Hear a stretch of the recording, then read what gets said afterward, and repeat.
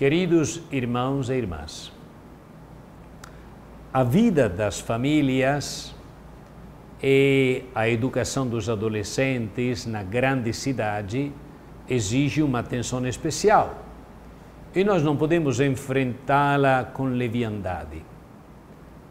Educar ou ser família numa cidade pequena não é como numa grande cidade.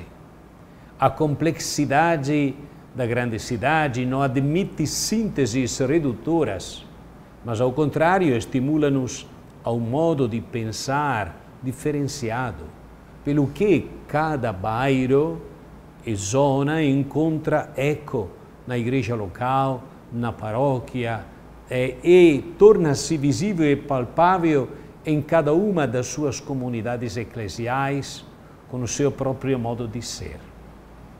A uniformidade é um grande inimigo. Nós vivemos as tensões da grande cidade.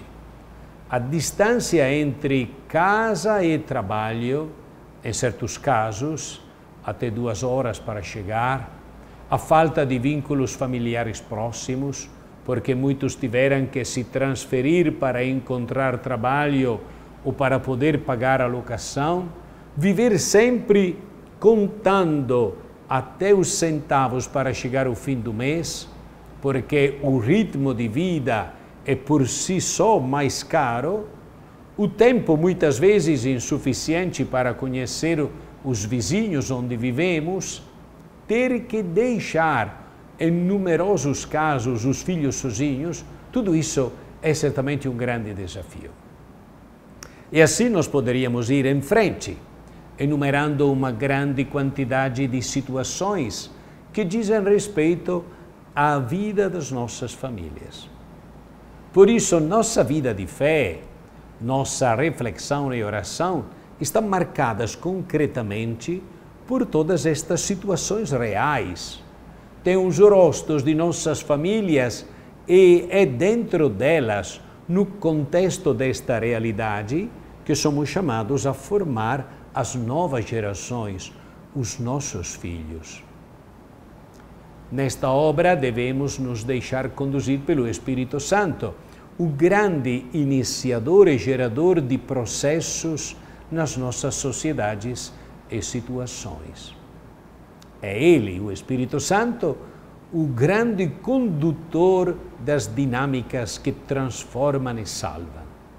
Com Ele, não temos medo de caminhar pelos nossos bairros, pensando em como dar impulso a um acompanhamento para os pais, para os jovens, para os adolescentes. Outro aspecto importante: a situação atual faz crescer gradualmente na vida de todos nós, de maneira especial nas nossas famílias, a experiência de nos sentirmos erradicados, isto é, sem raízes. Ou seja, pessoas, famílias, que aos poucos perdem os seus vínculos. Aquele tecido vital tão importante para nos sentirmos parte uns dos outros, partícipes com os outros de um projeto comum. É a experiência de saber que pertencemos a outros no sentido mais nobre deste tema. É importante ter em consideração este clima de perda das nossas raízes, porque passa gradualmente pelo nosso olhar e, de modo especial, pela vida também dos nossos filhos. Uma família desenraizada é uma família sem história, sem memória, precisamente sem raízes.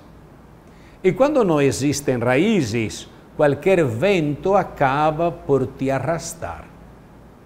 Por isso, uma das primeiras coisas nas quais temos que pensar, como pais, como famílias, como pastores, são os cenários nos quais devemos nos enraizar, onde gerar vínculos, encontrar raízes, onde fazer crescer aquela rede vital que nos permita sentir-nos em casa.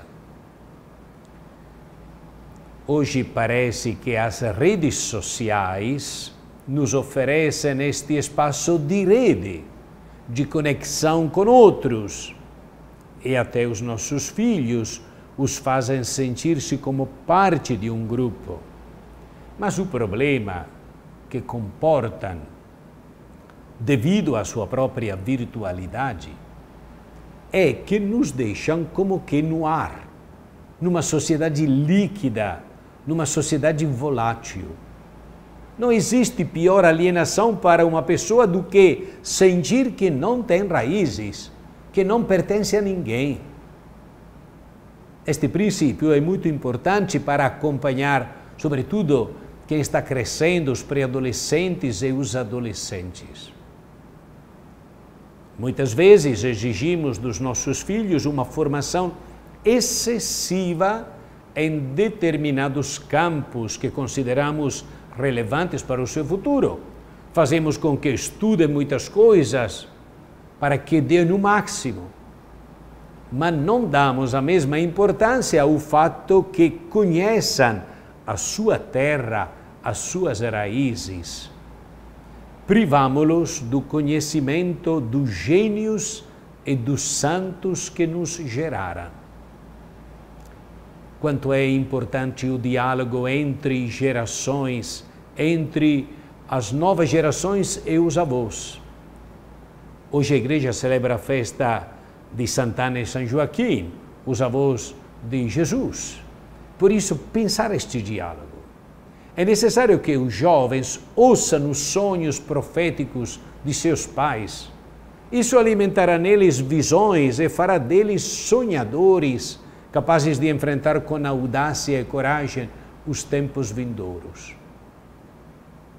Se quisermos que os nossos filhos sejam formados e preparados para o amanhã, não é só aprendendo as línguas, as matérias várias. É necessário que se conectem, que conheçam suas raízes. Somente assim poderão voar alto. Caso contrário, serão capturados pelas visões de outros. A esse respeito, o Papa Francisco diz: Volto a falar deste assunto. Talvez eu seja obcecado, mas os pais devem deixar espaço aos filhos para que falem com os avós. Muitas vezes o avô ou a avó vive numa casa de repouso e não vão visitá-los. Devem falar com eles, diz o Papa. Até superar os pais, mas ao rir das raízes dos avós. Os avós têm esta qualidade da transmissão da história, da fé, da pertença. E diz o Papa, fazem-no com a sabedoria de quem está à porta, pronto para ir embora. Como diz o profeta Joel, os vossos filhos e as vossas filhas profetizarão, os vossos anciãos terão sonhos. Hoje não permitimos que os avós sonhem. Descartámos-los, diz o Papa. Esta cultura descarta os avós porque eles não produzem. Eis a cultura do descartável. Mas os avós só podem sonhar quando se encontram com a nova vida. Então sonham, falam. Mas pensemos em Simeão. Pensemos na profetisa Ana, pensemos em Joaquim e Ana, os avós de Jesus, né? Que bom. É, que bonito ver os avós sonhar. Mas os avós que sonham e conferem às crianças a pertença da qual eles têm necessidade. Estes avós são uma bênção. Quanto é importante fazer um exame de consciência sobre isso. Encontrar a história concreta nos avós. E não os deixar de lado o Papa falando dos avós, lembra que quando, diz ele, quando era criança, uma das duas avós dele lhe ensinou uma história. Era uma vez, contou o Papa, numa família, um avô viúvo, morava com a família, mas tinha envelhecido e quando comiam caía-lhe um pouco de sopa ou a baba e sujava-se um pouco. Então o pai decidiu fazê-lo comer sozinho numa cozinha. Assim podemos convidar amigos. Dito feito. Alguns dias mais tarde, voltando do trabalho, aquele pai encontrou o filho dele, o menino que brincava com um martelo, com pregos, com um pouco de madeira. Mas o que fazes? perguntou o pai. E aquela criança respondeu: Uma mesa. Uma mesa por quê? disse o pai. Uma mesa de jantar. Mas por quê? Para que quando tu envelheceres, tu possa comer aí sozinho, disse aquele menino. Aquele menino tinha entendido com intuição onde estavam as raízes. Vejam que intuição e que bonita história o Papa contou. Hoje que é a festa de Santana e São Joaquim, nós devemos reconhecer a importância das pessoas idosas e como elas podem contribuir para o desenvolvimento das novas gerações. Este encontro é, é certamente explosivo, faz sonhar é, os idosos, os avós e faz os jovens aprender a sabedoria deles. Que Deus abençoe a todos em nome do Pai, do Filho e do Espírito Santo. Amém.